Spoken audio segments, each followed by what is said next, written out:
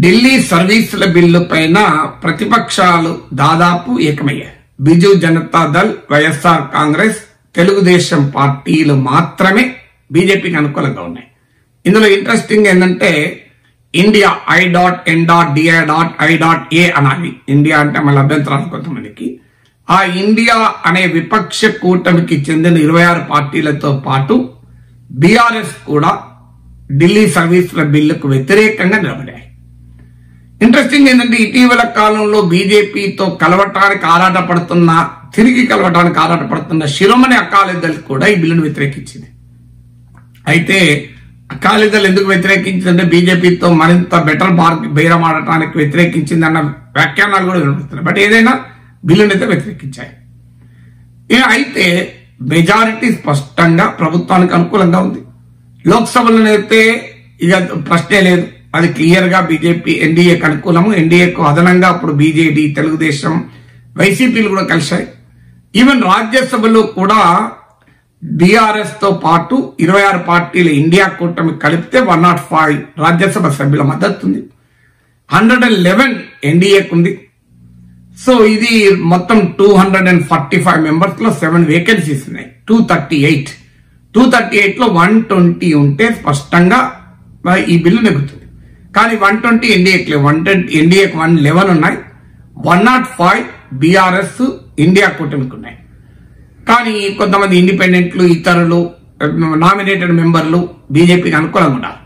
ముఖ్యంగా తొమ్మిది మంది వైసీపీ ఎమ్మెల్యేలు వైసీపీకి చెందిన ఎంపీలు తొమ్మిది మంది బీజేడీకి చెందిన బిజు జనతా దళ రాష్ట్ర సభ్యులు ఒక్కరు టీడీపీ. ఈ పంతొమ్మిది మంది మద్దతుతో నూట ముప్పైకి వెళ్ళిపోతుంది. ఈ నామినేటెడ్ ఇంకైతే పెరుగుతుంది. సో ఇది క్లియర్ మ్యాథమెటిక్స్ కనబడుతోంది. సో అందువల్ల వైసీపీ బీజేడీలు బీజేపీకి అనుకూలంగా వ్యవహరిస్తాయి తెలుగుదేశం ఇది అందరికీ తెలిసిన విషయమే. అందుకే ఇండియా కూటమికి వీళ్ళు ఎవరికి పిలుపు కూడా రాలేదు. కానీ అయినా కేజ్రీవాల్ దీన్ని సెమీఫైనల్స్గా వర్ణించారు. సెమీఫైనల్గా వర్ణించడమే కాదు ఇండియా కూటమిలో తాము చేరటానికి ఒక ప్రీ కండిషన్ షరతుగా పెట్టాడు. కాంగ్రెస్ పార్టీ గనక ఢిల్లీ సర్వీసుల బిల్లును వ్యతిరేకించకపోతే మేం విపక్ష కూటమిలో భాగం కాము అని. ఒక రకంగా ఢిల్లీ సర్వీసుల బిల్లు పైన పోరాటాన్ని కేజ్రీవాల్ను ప్రతిపక్ష సెంటర్ కేంద్రంగా బీజేపీ పై పోరాటంలో కేంద్ర బిందువుగా మార్చుకోవడానికి కేజ్రీవాల్ ప్రయత్నం చేశారు. దీంతో ఢిల్లీ సర్వీసుల బిల్లు పైన విపక్షాల ఐక్యత టూ థౌజండ్ ట్వంటీ ఫోర్కు సెమీఫైనల్స్ అంటూ వ్యాఖ్యానాలు చేశారు. కానీ సెమీఫైనల్స్ అంటే అర్థం సెమీఫైనల్లో ఓడిపోతే అసలు రారు మరి కర్ణాటక సెమీఫైనల్స్ అన్నారు గుజరాత్ సెమీఫైనల్స్ అన్నారు హిమాచల్ సెమీఫైనల్స్ ఇన్ని సెమీఫైనల్స్ ఎందుకుంటాయో తెలియదు. అయినా పార్లమెంటులో పోరాటం మీద ఈ బిల్లు పైన ఏ పార్టీ ఆల్రెడీ ఫిక్స్డ్ మెంబర్స్ ఉన్నారు. బిల్లు పైన అవుట్కమ్ అనేది పార్లమెంట్లో ఆల్రెడీ ఉన్న సభ్యత్వాల ఆధారంగా ఉంటుంది. కానీ రెండు వేల ఇరవై నాలుగు ఎన్నికల్లో ప్రజలు ఓటు వేసేదానితో సంబంధం ఉంటుంది. అందువల్ల ఈ బిల్లు పార్లమెంట్లో ఓడిపోతే రెండు వేల ఇరవై నాలుగులో బీజేపీ ఓడినట్లు ఈ బిల్లు గెలిస్తే గెలిచినట్లు అనే రీతిలో కేజ్రీవాల్ వ్యాఖ్యానించారు. ఒక రకంగా అది బీజేపీకి అడ్వాంటేజ్ అయింది ఆ నువ్వు కేజ్రీవాల్ చెప్పాడు కదా ప్రతిపక్షాలు చెప్పాయి కదా సెమీఫైనల్స్ అని. మేము పార్లమెంట్లో పార్లమెంట్లో గెలిచాం కదా రెండు వేల ఇరవై నాలుగు కూడా మేమే గెలుస్తామా? అనే వాదన. అసలు విపక్షాల వాదనలకు అర్థం ఉందా? అసలు పార్లమెంట్లో ఒక బిల్లు పైన జరిగే ఓటింగ్ రెండు వేల ఇరవై నాలుగు లోక్సభ ఎన్నికలకు సంబంధం ఏంటి? అక్కడ ప్రజలు ఎవరికి ఓటేస్తారు? ఇప్పుడు ఎలా చెప్పగలం?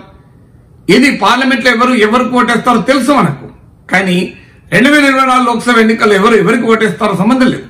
అసలు ఈ పార్లమెంట్లో ఢిల్లీ బిల్లు పైన జరిగే ఓటింగ్ ఏ రకంగా రెండు వేల ఇరవై నాలుగు ఎన్నికలు ప్రభావితం చేస్తుంది? రెండు వేల ఇరవై నాలుగు ఎన్నికలతో సంబంధం లేదు. రెండు వేల ఇరవై నాలుగు ఎన్నికలు ప్రభావితం కూడా చేయదు. మరి అది ఎలా సెమీఫైనల్స్ అవుతుందో అర్థం కాదు. ఇందులో ఇప్పుడు ఉదాహరణకు బిజు జనతా దళ్ ఢిల్లీ సర్వీసుల బిల్లు పైన బీజేపీకి మద్దతు ఇచ్చింది. రేపు రెండు వేల ఇరవై నాలుగు ఎన్నికల్లో బీజు బిజు జనతా అక్కడ బీజేపీ ప్రధాన ప్రత్యర్థి కాంగ్రెస్తో పాటు. అలాగే ఇక్కడ బీఆర్ఎస్ ఇరవై ఆరు పార్టీలు ఇండియా కూటమికి మద్దతు ఇచ్చింది ఢిల్లీ బిల్లు పైన. ప్రభుత్వానికి వ్యతిరేకంగా నిలబడింది రేపు తెలంగాణలో కాంగ్రెస్ బీఆర్ఎస్ కలిసి పోటీ చేస్తాయా? అలాగే వైఎస్ఆర్ కాంగ్రెస్ తెలుగుదేశం. ఆంధ్రప్రదేశ్లో పరస్పరం ఇరవై ఐదు లోక్సభ సీట్ల పోటీ పడేది రెండు పార్టీలే. కానీ ఈ రెండు పార్టీలు కలిసి బీజేపీకి మద్దతు ఇచ్చే ఈ బిల్లు పైన. అంటే ఈ బిల్లు పైన ఏర్పడిన రాజకీయ పొందికకు రాజకీయ కూర్పుకు రెండు వేల ఇరవై నాలుగు ఎన్నికల్లో ఉండే రాజకీయ కూర్పుకు కూడా సంబంధం లేదు. మీరు పంజాబ్ ఢిల్లీలలో ఆమ్ ఆద్మీ పార్టీ వర్సెస్ కాంగ్రెస్ పోరాటం నడుస్తుంది. మరి ఈ ఢిల్లీ బిల్లు పైన ఆమ్ ఆద్మీ పార్టీ కాంగ్రెస్ కలిసే ఉన్నాయి. మరి ఏ రకంగా రెండు వేల ఇరవై నాలుగు ఎన్నికల్లో జరిగే మోహరింపుకు ఈ బిల్లు పైన ప్రతిపక్షాల మనకు అధికార పార్టీకి మధ్య జరిగిన మోహరింపుకు సంబంధం ఏంటి? మరి ఏ రకంగా ఢిల్లీ బిల్లు సెమీఫైనల్స్ అంటూ మాట్లాడారు?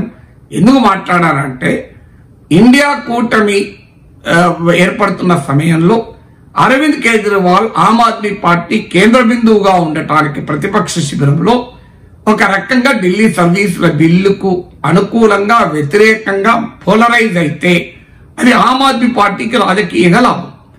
కానీ ప్రతిపక్షాలందరికీ ఏ రకంగా లాభం? ఈ ఢిల్లీ బిల్లును వ్యతిరేకంగా పోలరైజ్ కావాలి కరెక్టే. ఎందుకు కావాలి? అది ఆమ్ ఆద్మీ పార్టీతో సంబంధం లేదు కేజ్రీవాల్తో సంబంధం లేదు. అది రాజ్యాంగ విరుద్ధం గనక ది ఫెడరల్ స్ఫూర్తికి భిన్నం గనక దానిపైన ప్రతిపక్ష పార్టీలు ఏకం కావడంలో తప్పలేదు కానీ దాన్ని బీజేపీ వ్యతిరేక పోరాటానికి ఒక గీట్రాయిగా ఓ లిట్మస్ టెస్ట్గా ఓ ప్రాతిపదికగా రెండు వేల ఇరవై నాలుగు ఒక సెమీఫైనల్స్గా చెప్పడం అనేది రాజకీయంగా ఎలాంటి హేతుబద్ధత లేని వాదన.